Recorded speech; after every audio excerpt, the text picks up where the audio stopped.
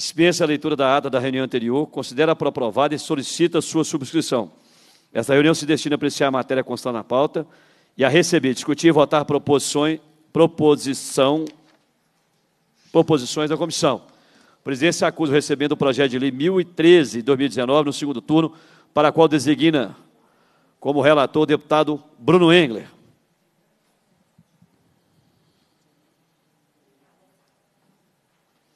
É com E, né? Eu só escrevo o nome dele com H. Passa-se a primeira fase da ordem do dia que compreende a discussão e a votação de pareceres sobre proposições da comissão.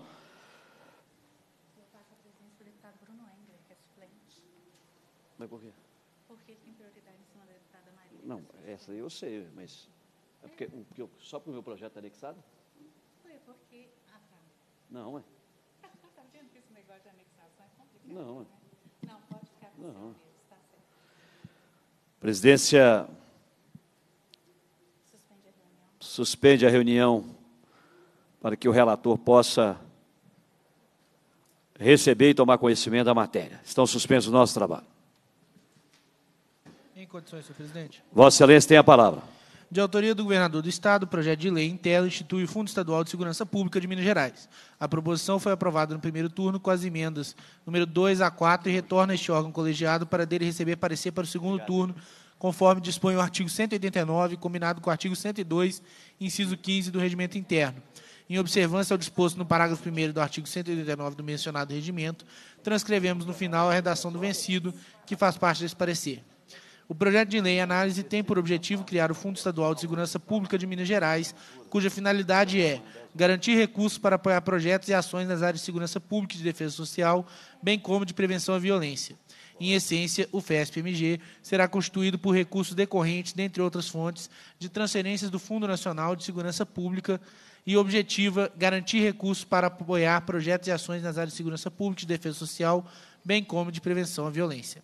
Mantemos nosso entendimento, já emitido no primeiro turno, de que o projeto institui uma importante ferramenta que propiciará à sua segurança do Estado uma atuação mais eficiente no combate ao crime. Como dito anteriormente, essa Comissão de Segurança Pública já realizou diversas audiências públicas, cujo tema foi o aumento da criminalidade em municípios das várias regiões do Estado. Nas discussões realizadas, a falta de de equipamentos públicos, derivada da escassez de recursos, é frequentemente apontada como um dos problemas vividos pelos órgãos estaduais de segurança pública. Sendo assim, proposição legislativa que pretenda instituir um fundo específico para a segurança pública que viabilizará a transferência de recursos federais é medida relevante e merecedora de elogios. Observa-se pelo exposto que a matéria é relevante e pertinente, merecendo, portanto, receber apoio também no segundo turno. Contudo, com base em sugestões do deputado Sargento Rodrigues e da deputada Marília Campos, apresentamos ao final deste parecer a emenda número 1, de forma a acrescentar, entre as destinações do FESP, programas e projetos voltados à educação e segurança no trânsito e programas e projetos e ações voltados à proteção das mulheres em situações de violência e à prevenção da violência doméstica e ao feminicídio.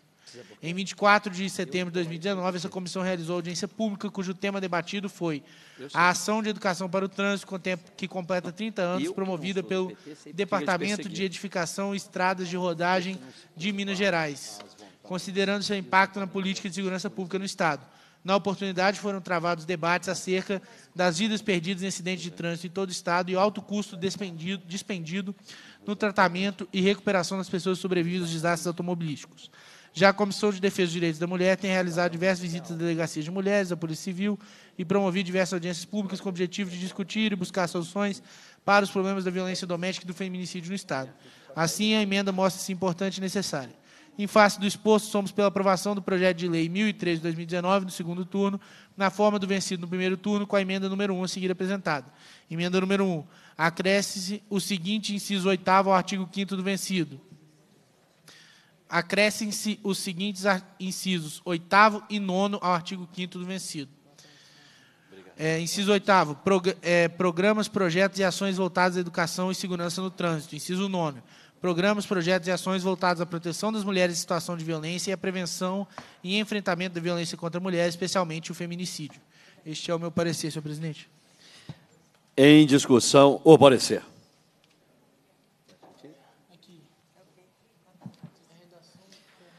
Presidência, como não há oradores inscritos para discutir, eu gostaria apenas de mais uma vez agradecer a presença do deputado Gustavo Santana, que, na qualidade suplente, tem nos ajudado muito nessa comissão, e, obviamente, do deputado Bruno Engler, que é o suplente com o maior número de presença nesta comissão.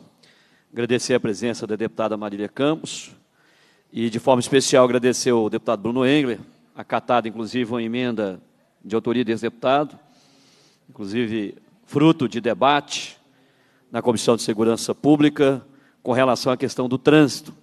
Deputado Bruno Engler, a última audiência pública proposta pelo deputado João Leite, a delegada que representava o Detran, deputado Gustavo Santana, nos trouxe a seguinte informação, que hoje nós temos, e nós discutimos a questão da violência e segurança no trânsito, a delegada nos trouxe a seguinte informação, que hoje nós temos 6, 4 milhões de motocicletas emplacadas pelo Detran no estado de Minas Gerais e apenas 600 mil habilitados. Portanto, Vossa Excelência, dá para entender por que, que nós estamos deparando com um número enorme de acidentes com motocicletas e isso gera violência. E gerando violência é preciso que a gente se anteceda é, com ações e com políticas públicas voltadas para a prevenção, para a educação no trânsito. Por isso que nós entendemos que seria melhor. Quanto mais a gente alargar esse leque para que possa políticas públicas possam ser executadas, melhor nesse sentido, porque nós estamos apenas ampliando. E as emendas também aqui apresentadas pela deputada Marília Campos, que prevê projetos e ações voltadas à proteção de mulheres vítimas de violência e também projetos e ações voltados à prevenção ao feminicídio e contra a violência doméstica, na verdade, nós estamos apenas ampliando o escopo do fundo, que amanhã, havendo os recursos, e a gente tem que se antever para, é, não depois que receber o recurso, apresentar outro projeto de lei e falar: olha, nós esquecemos de colocar isso. Então, são matérias extremamente relevantes, as emendas aqui apresentadas pela deputada Marília Campos, e eu quero apenas agradecer o deputado Bruno Engler, que tem se colocado é, muito eu diria, prontamente as nossas demandas aqui na comissão. É, estaremos, inclusive, deputado Bruno Engler, às 18h30 horas, lá na Comissão de Constituição e Justiça, porque hoje nós teremos um projeto importantíssimo e eu espero que o conjunto de deputados e deputadas daquela comissão, que não haja nenhum pedido de vista ao PL 1205, que é o PL que permitirá, deputada Marília Campos, que o governo antecipe os recebíveis da Codemig para colocar em dia o pagamento no quinto dia útil dos servidores, e eu e o deputado Bruno, que estamos lá desde, desde 22 de fevereiro, participando de negociações com o governo, nós já tínhamos conhecimento que a única saída que nós temos mais próxima possível de ser executada é esta. Ontem mesmo, deputado Bruno Engel, eu tive a oportunidade de ir até o, ex-deputado e hoje conselheiro doutor Viana para alertá-lo quanto a essa questão. Falei, olha, doutor Viana, os servidores da segurança, aliás, os servidores públicos, civis e militares do Estado estão há mais de quatro anos sem reposição de perda inflacionária e há três anos e nove meses recebendo de forma parcelada, enquanto os servidores do Legislativo, do Judiciário, do Ministério Público, do Tribunal de Contas, todos estão com salários em dia, com a reposição de perda inflacionária, tudo tranquilo. Então, é bom que o senhor saiba que uh, o questionamento que o senhor fez, e obviamente na condição de, de conselheiro, tem todo o direito e dever constitucional de fazer, mas é bom que o senhor saiba que esse projeto, essa proposta do governo, nós estamos aqui avançando numa coisa que é algo extremamente necessária para os servidores, é, para o conjunto de servidores. Né? Nós sabemos que uma família onde o salário está parcelado, as consequências são danosas, são gravíssimas. E é e muito importante. Então, Bruno, eu estarei lá às 18h30 horas acompanhando os trabalhos da CCJ e, obviamente, reforçando né, é, a, os próprios encaminhamentos que Vossa Excelência faria nesse sentido, porque eu conheço Vossa Excelência e Vossa Excelência conhecedor de todos os trâmites que está acontecendo junto ao governo, Vossa Excelência faria esse encaminhamento presidência coloca em votação a matéria, né, Em, em discussão, parecer, encerra essa discussão. Em votação, o parecer. Senhores deputados e deputadas que aprovam, permaneçam como segundo. Aprovado o parecer do deputado Bruno Engler. De nada.